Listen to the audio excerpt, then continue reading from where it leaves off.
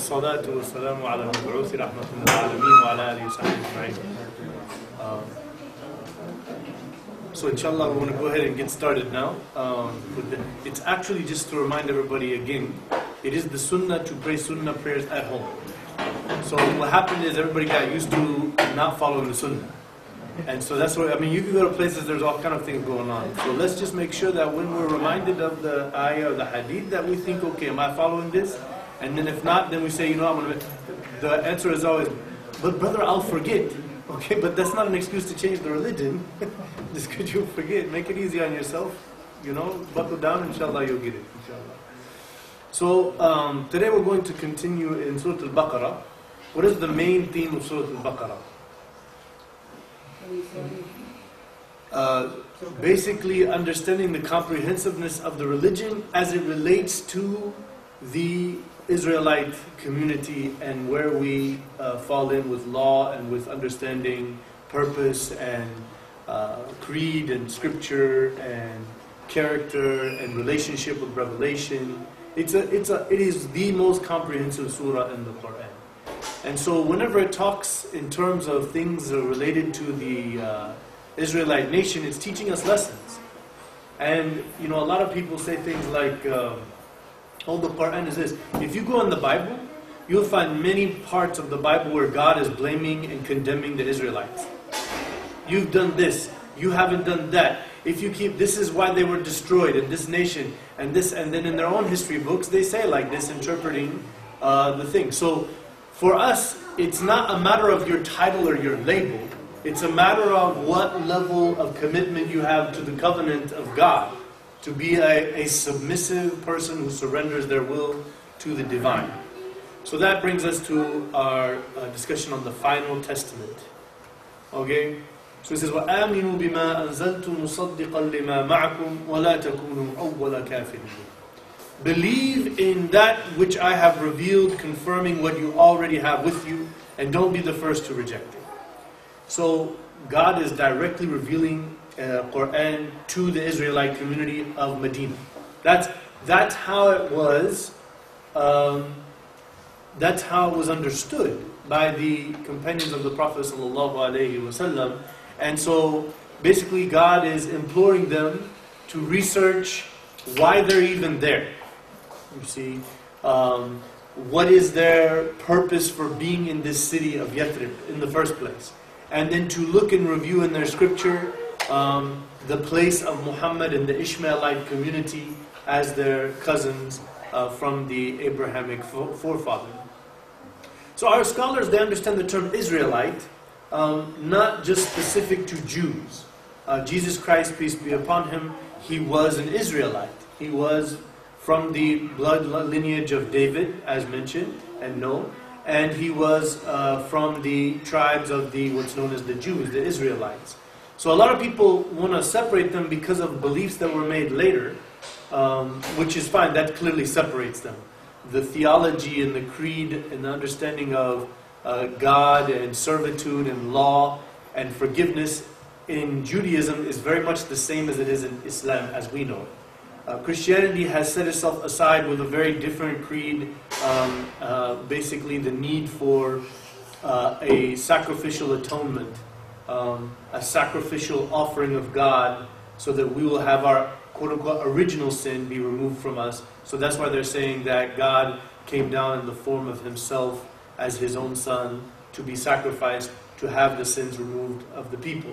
So this is a very different, very um, uh, diverging belief system.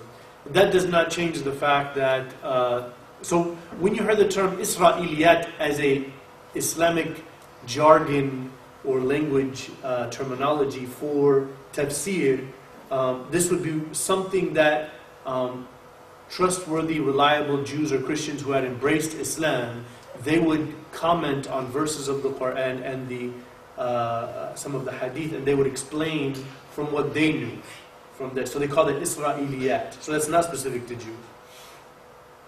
So this revelation is confirming the generality of the religion sent to all previous prophets.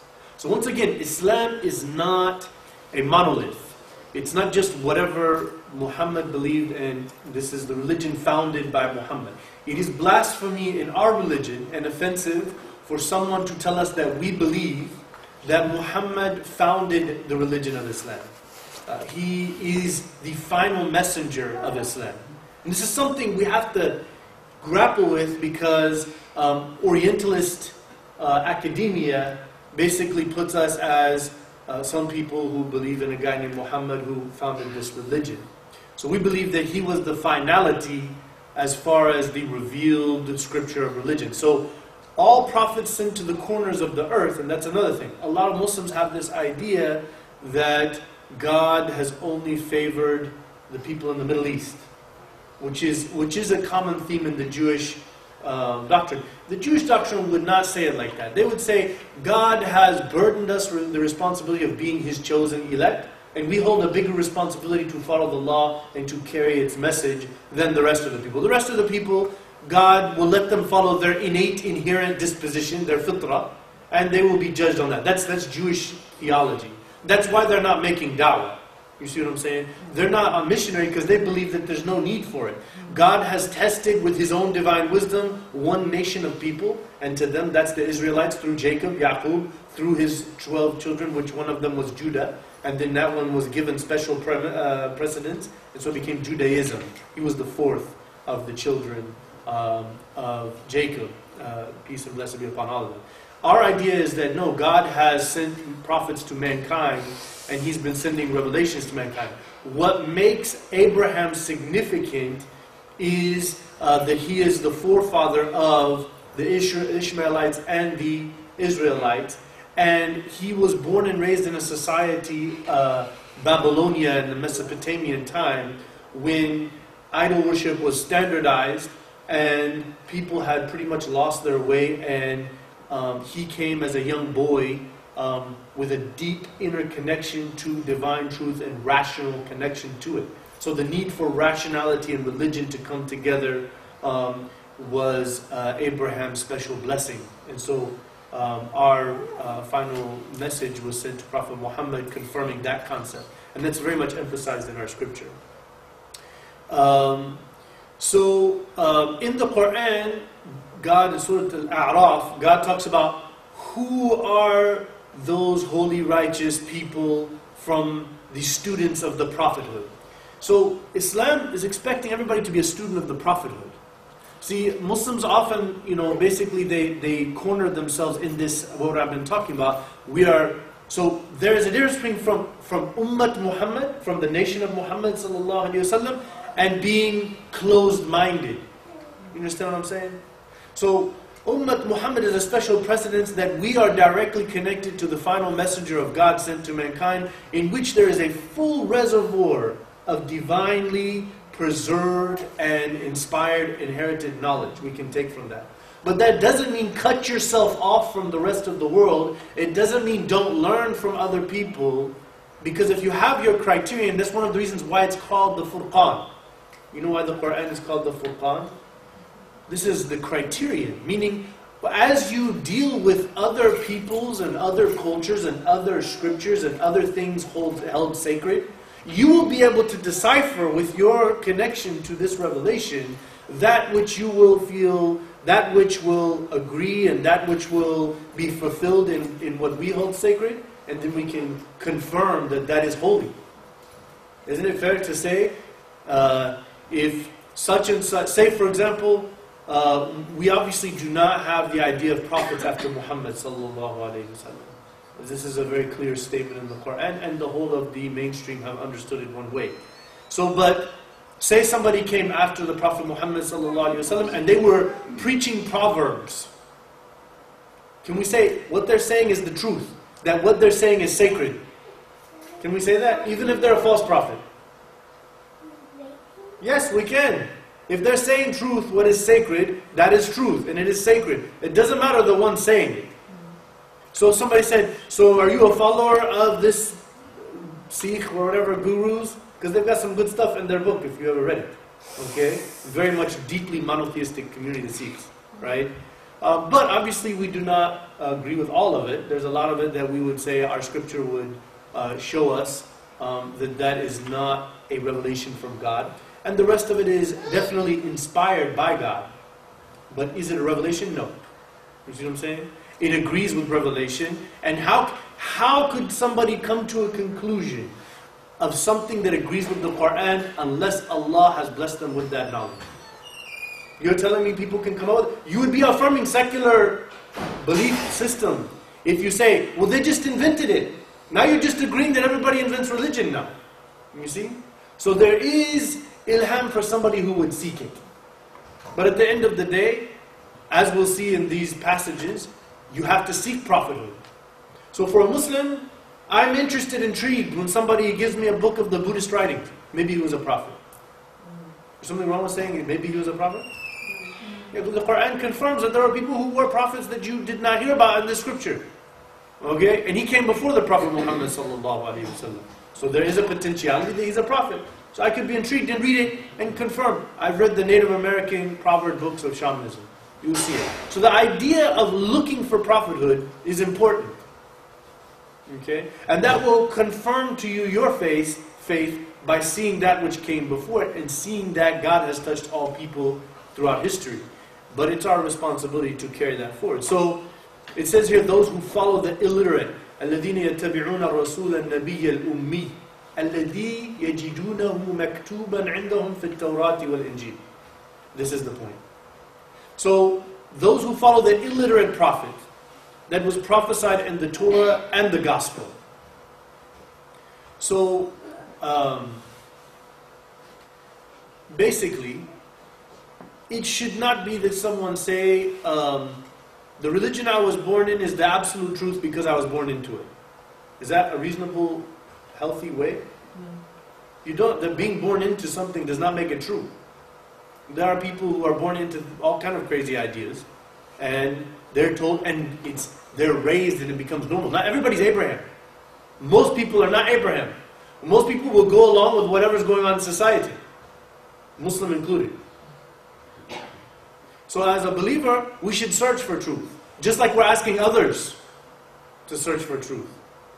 And then we affirm our own faith. We see the truth. We see the evidence in our faith. We look into the evidence of the Prophet. So, in Deuteronomy, chapter 18, this is Deuteronomy, you have to know that the, the Torah is the first five books of the Old Testament of the Bible. A lot of people don't understand what is the Bible. When you hear the word Bible, how many of you thought that means Christian beliefs, Christian scriptures?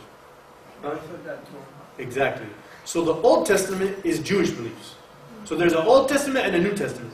So Christian beliefs are the New Testament of the Holy Bible. And many Christians, you'll meet them, they'll say, I don't even care about the Old Testament.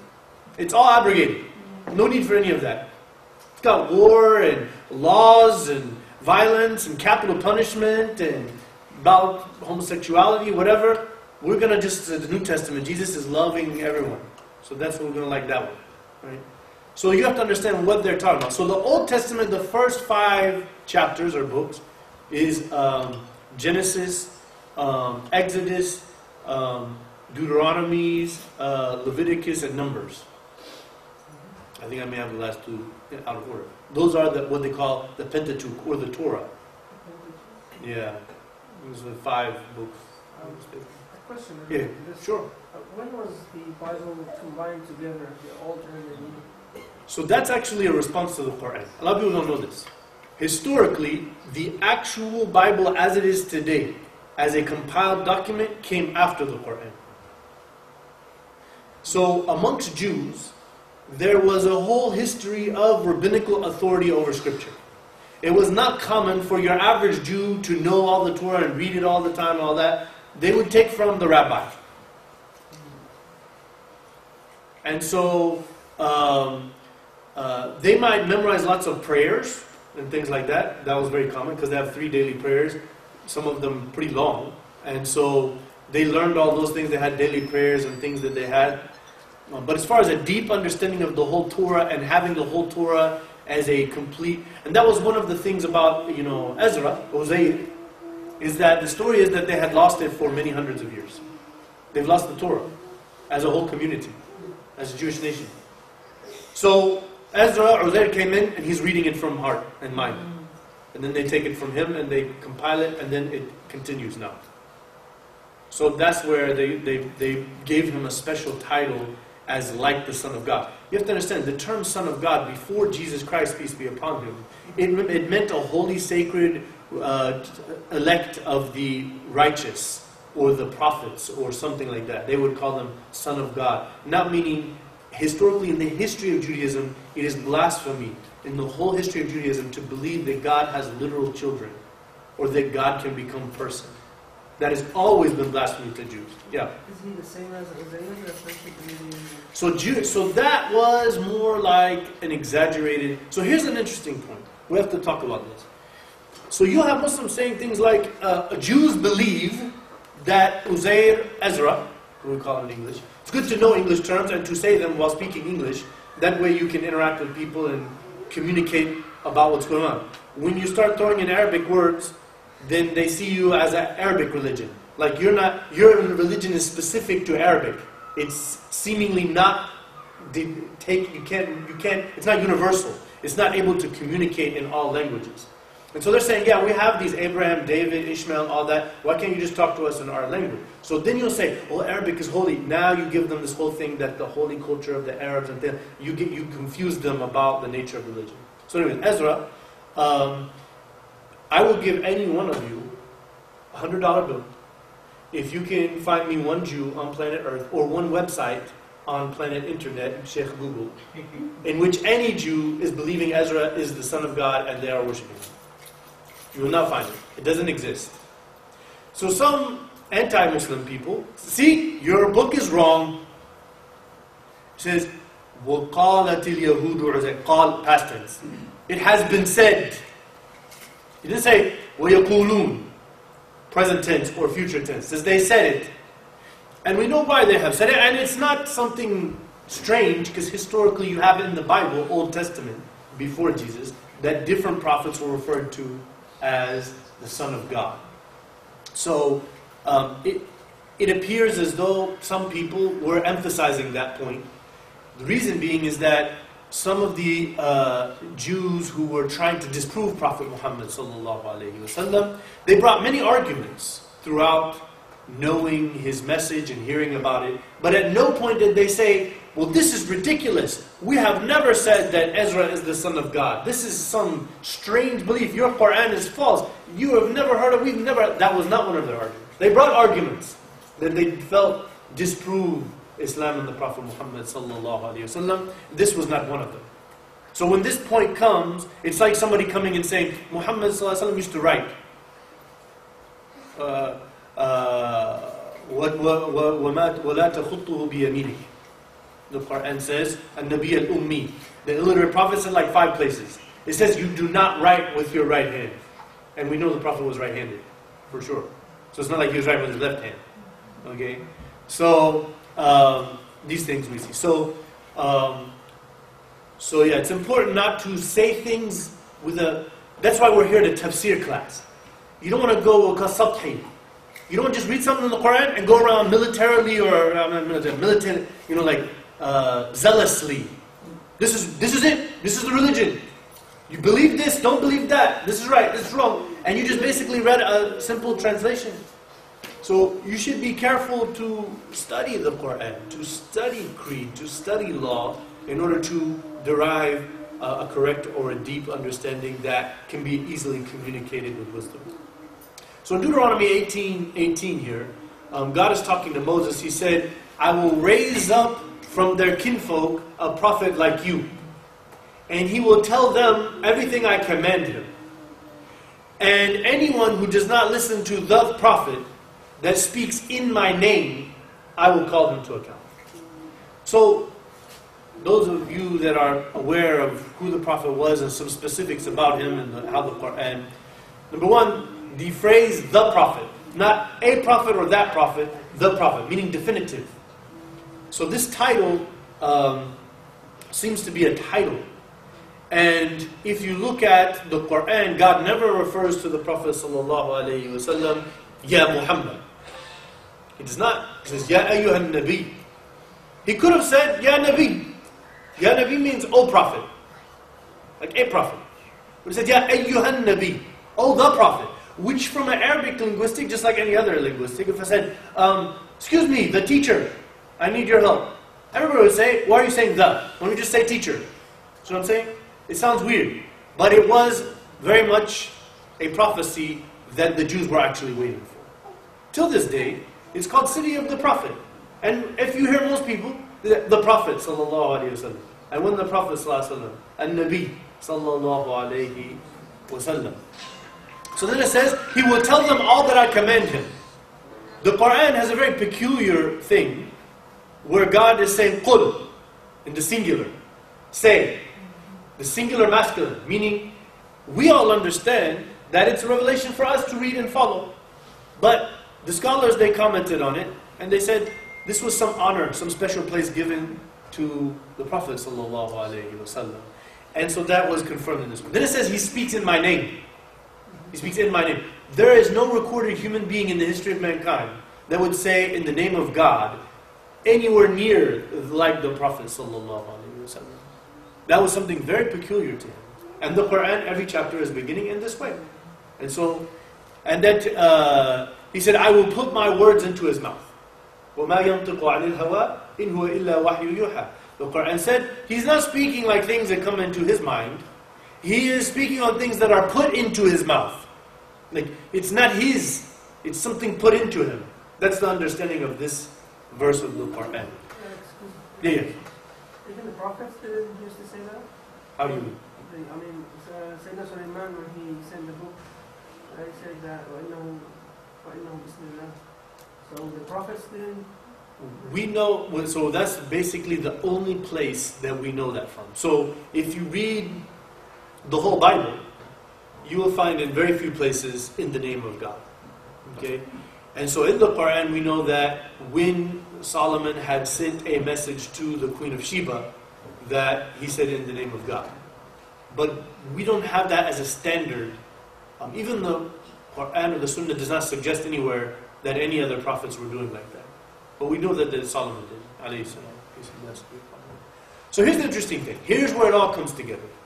And by the way, this this this combination that I'm giving you is a very solid combination. Because, and it's not because I want it to be and I'm a Muslim and I'm trying to prove my religion and stretching the truth. It just is done by the Christian scholars. They've done it for us. And it's just their, I mean, it's their tafsir for their own book that they've done. So uh, in John, which John is from which part of the Bible? New Testament. So the New Testament begins with the four canonical Gospels. This is important knowledge for any Muslim living in a Christian country. Very important, very beneficial to know what is the scripture, how do they see it, what is the importance, what do I talk to somebody, how do I uh, understand them, how can I communicate with them, how can I interact with them. If you come saying, I have this religion you should learn, and it seems very foreign, you seem foreign, you're talking all these Arabic words, and then you can't relate to them in any way, do you think that they will learn? They will not. And that is the wisdom of why Allah said in Surah Ibrahim, وَمَا أَرْسَلْنَا مِن رَسُولٍ إِلَّا بِلِسَانِ قَوْمِهِ لِيُبَيِّنَ لَهُمْ We never sent any messenger to a people, except for that messenger would talk to those people to whom he was sent in their language, in their tongue. The word is bilisan. He could have said bilugati, right? He could have said by his language. The scholars said that the tongue is a deeper way to re- reference um, this. So, uh, let me give you an example. Is Syrians and Egyptians and Moroccans and Saudi Arabians speaking Arabic? Yeah.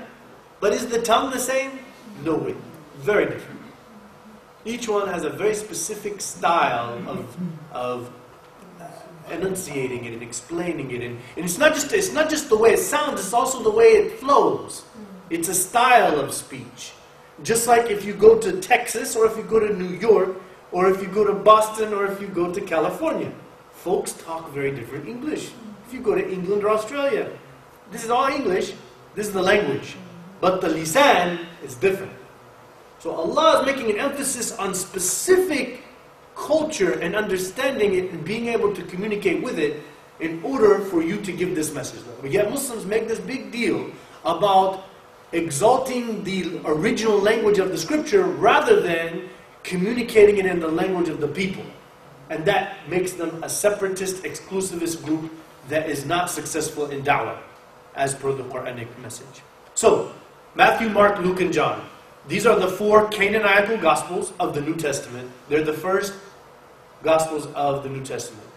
The story that we have is that Matthew, Mark, Matthew and John were actual companions, Hawariyun. They were the companions of Jesus. Mark and Luke are people who lived around him, and they heard his story from other people, and they have written it down from some intimate connection that they have with someone else. Each of these four are telling the same story. Matthew, Mark, Luke, and John, they tell the same story. And as per my many discussions with my Christian pastor friends and studying, they admit that it looks like, if I'm not mistaken, Mark was one of the earlier ones, and that others built off of it and kind of took from it, and that you will see some overlap, and then you will see some very different ideas from one to another. For example, one of them will say that um, uh, Jesus carried the cross up the hill. Other one says they carried the cross up. It's either one of them. I can't imagine if they were punishing him to carry the cross. They'd be like, okay, it looks like it's too bad on you. We're trying to torture you to death. Let me carry that for you. Does that make any sense? No. It doesn't. So one of them said when Jesus was supposedly put in the tomb, that when Mary uh, came, she saw that the tomb was moved away mysteriously. The rock was moved. Another of the same, it said it was there and she had to have somebody move it for her. They have, and there's stuff like this in there. So this is, you know, differences they have in there. Um, so in John chapter 1, 19 to 21, these Israelites, they come to, uh, these are the Levites, the Sadducees and the Pharisees. These are the rabbis amongst the Jews living in Jerusalem. They have um, heard of a guy named John the Baptist, um, peace and blessings be upon him, who is telling everybody the Messiah is coming. I have come here to wash away the people and bring them into true faith. Meaning, the Jews have lost their way, and so we got to take you and dunk you in the water, which is what we call ghusl lil Islam, right? Did the Prophet ﷺ teach this? Of course he did. You're going to go come into Islam, you go take a shower with the intention of washing away your sins. So he's doing this with the people. So they come and challenge him. Are you the Messiah? You think you're the the the, the awaited holy prophet? He said no. Then they ask him, Are you Elijah? Meaning what? The Jews in the time of Jesus are waiting for Elijah. Elijah. Then they asked him, Are you the prophet? This exact word. So they asked him three questions. Three questions. All three, he said, No, I'm not any of these people. I'm John the Baptist. Okay? Yohanna or whatever. And so, um, so basically, And the Messiah was Sayyidina Isa. Right. yeah, so we know. Okay. Jesus Christ is the Messiah. The word Christ is Sayyidina Isa was not sent at that moment. because John comes before him. Remember the story of Maryam? But they, they don't they don't inter- They do meet. Their time, their time. Oh yeah, they meet.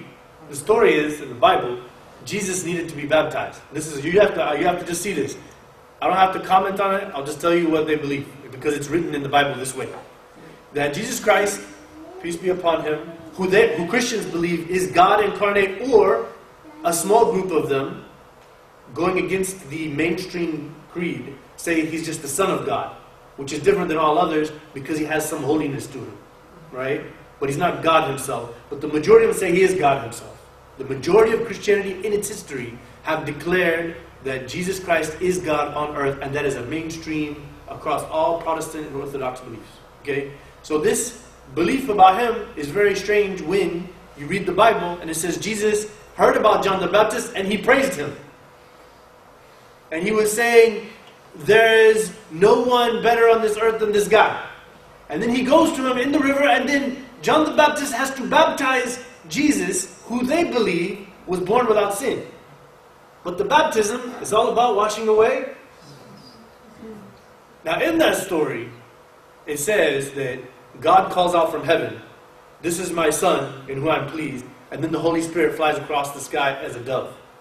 That's what they have. This is uh, no, no comments from me. You take it For, for any person, they hear that and they heard what they believe, it's hard, it's really hard. And that's why if you get into this conversation with a close friend who's a Christian, which I would not advise you to go to some strange person that you don't really know and bring these things up because it'd be offensive and, and put somebody in an awkward position. Be like you meet some guy and he's like, I heard your prophet has married a nine year old. You know what I'm saying? Leave people alone until you have a relationship, then you can have a more comfortable conversation and you've built a relationship and help people to understand things according to what you know and according to what they know and so forth. Right?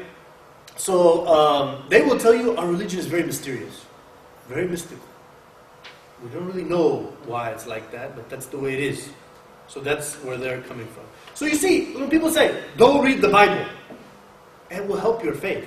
I'm just telling you, if you know anything about the Quran and you read the Bible, your faith will rage. Number one, you will read things confirming. Number two, you will see that it's going to be hard to put your faith in that book for sure. Whereas when you read the Quran, you're going to see why um, we put our faith in this book. With all due respect. I read once that Rasulullah um, Sayyidina Umar Khattab came to Rasulullah and he was reading part of the Gospel or the Torah, I think, Mhm. and he wanted to show it to Rasulullah. I, I can't remember exactly what the incident was. It's one of the ma- many. Rasulullah It's told one of, him- told him not to. Yeah, this is one of the many hadiths that are passed on in many khutbahs and to kids growing up because of the fear of what might happen to them. It has no authenticity to it. It is da'if jiddan. Oh. This hadith has, there's only one uh, hadith that is authentic, it's in Bukhari on this issue. And he said, حدثوا عن بني إسرائيل ولا حرج. And then he said, ولا تصدقوهم ولا تكذبوهم. He says, you can go ahead and talk about what you've learned from the Jews and the Christians, no problem. But don't just agree with them or disbelieve in them because they're Bani Israel. Rather, you need to use al-muhamminun alayh. You use the Quran as a criteria because the proof, and it's not just belief proof, there is archaeological, anthropological evidence of the Quran being what it, what it is, you know, the Word of God. It's not like just someone believe it, and then there's all this evidence scientifically that makes it hard for us to accept that. That's something that our brothers and sisters have a problem with. And that's why you'll find most Christians are moving towards, and Jews are moving to reform. That's why now the, the whole homosexual movement is really based upon. They will tell you it's unclear. It's not. It's crystal clear. It's more clear in the Bible that this is a impermissible evil act than it is in the Quran. It's much more clear in the Bible, like explicitly, like the one that did that should be killed. This is what it says in the literal Torah. Okay? But they're saying, yeah, we don't know if this was just people saying stuff, you know, because they had feelings about that and all that. So they're coming to a level of, because of a lot of rigorous scientific study about the Bible, that they're not sure, is this something to be taken literal? Meaning, can we just put some verses aside? I remember whenever I was invited to a Quaker group, and they said, Imam, aren't you, so in the Ramadan, do you guys recite these verses about war and jihad and stuff like that? I said, of course we do. And they said, well, why would you do that? I mean, you're an intellectual, you're a good man, you know? Why don't you just cancel those out? I said, but there's nothing wrong with these verses. And they were all looking at me like I was, maybe at any moment I'll blow them up or something. and I told them, I said, no, there's nothing in the Quran that says going to kill a person who is not attacking you or an enemy of the state. Those are the two conditions. If somebody's attacking you or the enemy of the state. Then there is a, a type of jihad, which is a very rare occasion that should not be, uh, it's not vigilante, it's not the business of any individuals or any characters, it's a, it's a state decision. You know, you're only individual, somebody comes to kill you, you have the right to defend yourself even if it means uh, taking the life of the aggressor, um, if that's the only way out of it for you, right? They're like, no, no, that's not what I heard. I said, well, how about we study them? We'll just open the Quran. And so what they're doing is they're assuming that all religious books are like their religious book. That's the assumption. And that's where we're being pulled into that. We're being pulled into that. All Muslims, we are the women. We talked about last week, and some of the sister, mashallah, came to me said, I will lie. I've thought my whole life that just women inherit half of men because they're just like half of men. Like some Muslim sister thought that.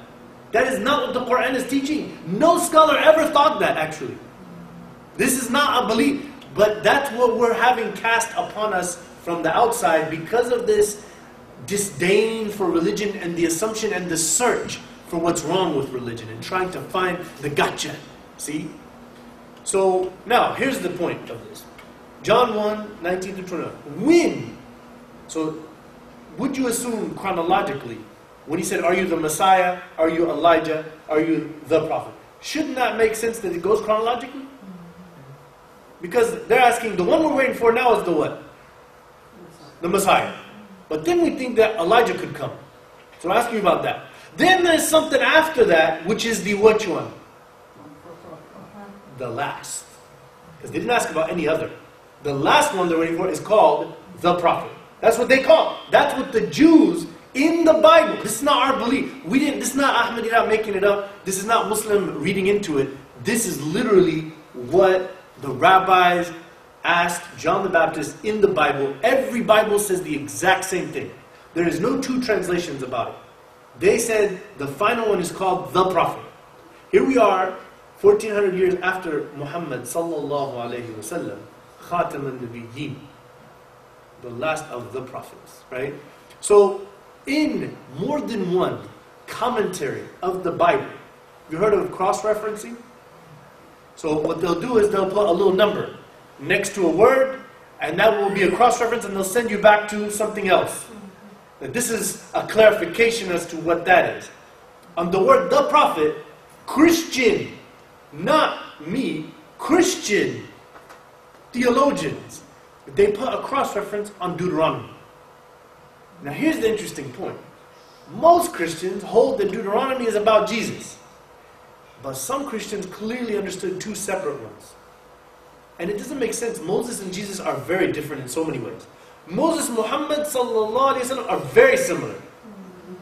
Establishing a nation, living a full life, mother and dad, a, a full law, a full scripture, complete, you know, becoming a great nation, as God has prophesied to Abraham in Genesis through Isaac and Ishmael. That did not happen with Jesus, peace be upon him. So they put the cross reference on the prophet to Deuteronomy. And they kept it like that? And yeah, you can go on BibleGateway.com and find it yourself. Which they're saying, we know there's two. So Mormonism is a religion that believes the prophet is Joseph Smith. That's what the religion is. That's the only that's the only group of Christians who figured this verse out. If you ask any pastor at any other church, um, who um, do you say is the prophet? And I'll tell you what I've met from many pastors who have degrees in divinity, PhD in divinity. You know what they all tell me? We really didn't think about this too much. It seems like it should be quite significant. An awaited prophet after Jesus. See, that's one of the reasons why they needed to, in the Nicene Council, to deify Jesus, to close the door for their control over religion so that the new prophet can't come and assert itself as taking away their religious foundation and nation and at that point it was a empire because this is after Constantine's son had become a Christian ruler of the Eastern Roman Empire. And it was the Eastern Romans who called for this meeting because they found that there are groups called Ebionites, Nabateans, and Arians, all who are saying Jesus is the Messiah sent to the Israelites, not God or the Son of God who's a Trinity. None of those. To them, they're just Jews. Now, here's the point. Historically, in Judaism, it is blasphemy to believe God can become human or that God has a literal son from his essence. You see what I'm saying? So, if you look at it, here's a big point to help our Christian friends to see um, the issue of continuity. Because someone will come very aggressive at you.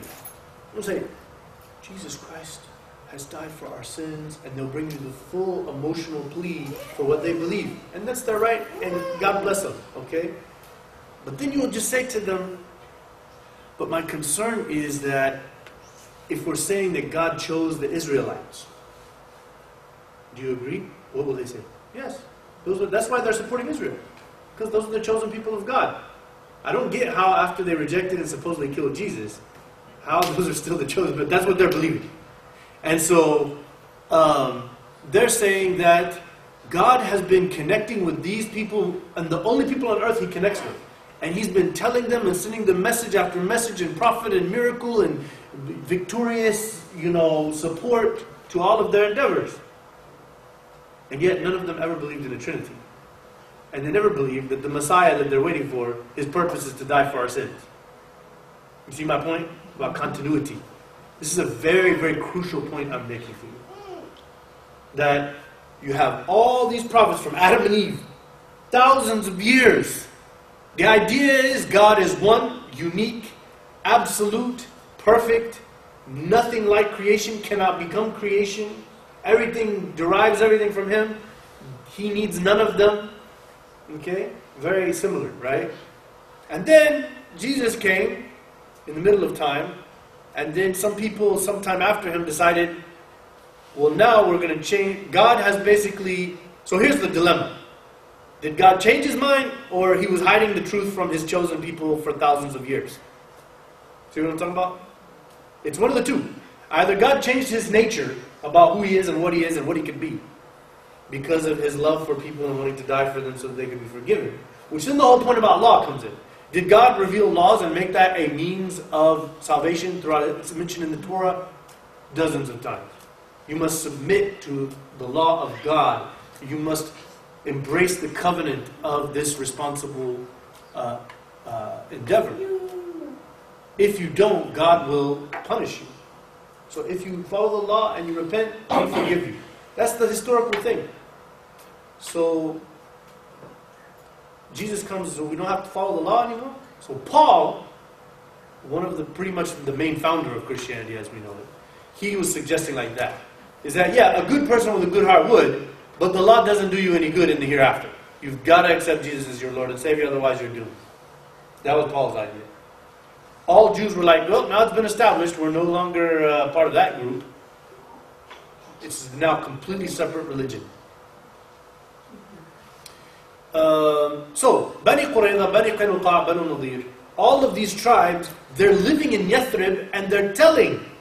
It says, uh, فلما جاءهم كتاب من عند الله مصدقا لما معهم وكانوا من قبل يستفتحون على الذين كفروا فلما جاءهم ما عرفوا كفروا به right so and when the book came when there came to them the book from Allah confirming that was was with them before they used to pray for victory over the Arabs and they would say um, when the prophet comes that we're waiting for so one of the you have to understand how this all fits together I'm forgetting his name, but one, this is the father of Abdullah ibn Abdullah ibn uh, Jabir ibn Abdullah. His name is Abdullah.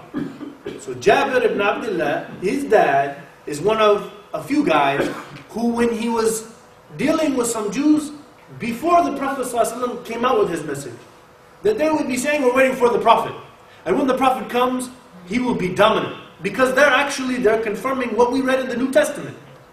They're there. The only reason they're there, and they have a very rabbinical group to them. They're waiting for this prophet. Okay, and so yeah, rabbinical, a, a very strong religious group of Jews. So they're not there for financial gain. It's Yathrib. It's the middle of the desert. Not much for financial. All those went to Europe looking for financial. These ones are religious, waiting for a prophecy to come true. And so they were saying this. So when Abdullah Abu Jabir and a couple of the other early uh, people who embraced Islam, they came to Mecca and they met the Prophet ﷺ. They said, we have heard that you are claiming that you are the Prophet. And he said, yes, indeed I am. And so they asked him some questions that they had known because they're privy to a lot of things in Judaism that nobody from Mecca would be because they have deals with them and interact with them directly. The Prophet ﷺ was not known to interact with Jews or Christians in any deep way before even though that is the foundation of the official Jewish and Christian understanding of Islam, is that Muhammad met Jews and Christians, sat with them, studied with them, learned everything, translated to Arabic, and made his religion. That's their idea of what we're following. So we know from our factual history that no, not even actually when it was claimed by the Quraysh that he's يعلمه بشر ajami. They're talking about a Persian guy. If you read all the tafsir, there's an agreement about the guy's name and everything. He was a Persian storyteller that talked a lot about Hud and Saleh, for sure. Because it was a historical thing in that region. But he was not privy to Jewish stuff. Um, and he was not into all of that. So that would have been uh, the only argument there. Nobody ever said, oh, oh, we heard that Muhammad has learned from. So basically, they came to the Prophet ﷺ, they said, and then he talked to them and they explained, you know, they explained why they're there, and then they embraced Islam. So then the Prophet said with them, Mus'ab ibn Umayr, take this boy with you, and he will tell you all about the religion. Sayyidina Musab was sent for the Jews. uh, no, he was sent with. No, these three people came up. They are uh, from Yathrib. They're thinking, if this guy is the prophet they're waiting for, we're in trouble because of what they've been saying, you know, this whole time. So what if we follow him first? What if we follow this guy? Mm. And so let's go meet him. And they met him, and they felt like he's not a fraud. And so then he comes back, and then Musab comes, he teaches them the Quran. And then over the next year, they established 12 major tribal leaders who came and announced their faith to the Prophet in Bayat al-Aqaba. And then the next year they brought 72, which 72 elder figures in the tribal system is representing maybe 5,000 people. It's a, it's, a, it's a lot of people that represents. Um, so um, that's how it all started. So it is this Jewish prophecy starting in Deuteronomy, confirmed in John of the Bible, that was the beginning to the whole entire prophethood of Muhammad. Without those two things, he does not, Islam does not become anything. Because they would not have accepted him in Yathrib. You see what I'm saying? These are authentic hadith, by the way. This is this is not me because I'm a you know have my Christian background reading into it. No, no, this is all well established stuff. These are very well firm foundational keys to the basis for our religion and the basis for communicating it to other people who would believe in the Bible. And so every every time I have this conversation, it's a very uh, uh, it's a very awkward scenario once we get to the nitty gritty of these points. Yes. Uh, so going back to how you said that the Christians and Jews believe that uh, all Prophet Muhammad did was just learn some stuff from them, then why are we? Are they calling us a terrorist religion if all we did was copy We've got their stuff. MashaAllah, Sheikh. Alhamdulillah. Yeah, I actually I heard one time a guy on one. Uh, um, it was one debate. I think it was uh, Jamal Badawi and some other guy, and some guy in the crowd brought this up, and the Christian guy said, "Let's not say that, because then you're saying that, you know." All the religion is our religion. And so now you're just confirming that our religion is terrorist because if you're saying their religion is all that, then if, you're, if our understanding is we got it from that, so let's not take that route. Yeah. So whenever he says, uh, so don't hasten to disbelieve when it, when it all fits as mentioned. Don't disbelieve before the other Israelites. It would be disbelieving in their own scripture. I mean, even if you study the Old Testament and the prophecy and the prophethood, like I was recently reading on, uh, it was uh, some uh, website they have for the Jewish community, and somebody asked the rabbi. and He's a Hasidic. You can tell he's Hasidic. He's an Orthodox rabbi in, in New York. He speaks very good English. Hasidic. It's a, Hasidic is a very strict, ultra-Orthodox group of Jews. So I asked the rabbi, um, we've heard that there is a uh, policy in England that every religion, every people who believe in a religion, they must pick at some place in their high school another religion other than theirs to study it as an elective. We're making this a to establish diversity and to respect religion. So I said, all the Muslims seem to be picking Judaism over there. And so could we pick, if we have Jews over there, can they follow the Quran, let's read the Quran and study it, and study Islam? The rabbi, he danced around this one, but his, you know, basically what he said was, the reason why many Muslims would want to is that for sure, there's no question, what we do know in the basic tenets that we know about Islam is that it's basically the same religion as Judaism. It's basically the same stuff. So it makes it very easy for them because they can relate to everything and we have very we have one God, creator of the universe. He's not human, he's not triune, he's one. He's the creator. He said Noah, Moses, Abraham. We all agree in all these things. So um, that, that, that would make a lot of sense. And he kind of reiterated that in like three different ways for like two minutes. And he said, But I'm asking you, can a Jew read about Islam? He said, Well, I'm not really, I don't know too much about Islam other than just these basic things that I've said. So I couldn't make a definitive ruling. And so then somebody asked him, But uh, Rabbi, you know, um, why don't you do that so you can have a better idea about it? He said, We are know what we're following, and that's sufficient for us.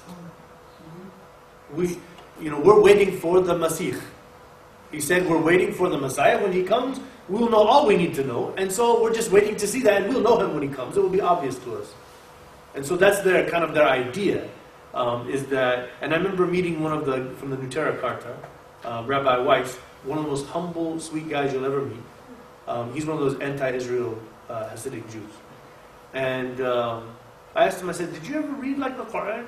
He was like, we don't read past what we have in the Torah and the, the laws of the prophets and the things, you know. Our, our scripture is sufficient for us. And I said, but what if, you know, what if there's something out there that you didn't know about that it might be interesting to learn? He was like, we have thousands of years. We're, we're the Jews. We have thousands of years of prophets. We know. We're right. How does that sound like to you? Many Muslims? And this is not the right way to be. Because then you'll prove that you're a closed minded, blind follower of your religion. You don't know based upon a comparative analysis because you're a humble person who doesn't just assume yourself right and everybody else wrong based upon my parents telling me. You actually go out there and form a relationship and come to a comfort in your faith and a confidence that you can communicate to people knowing very well everything that they believe and feeling, you know, like you have your basis and why you would say, I'm a Muslim and I'm not such and such or such and such because here's what evidence I follow.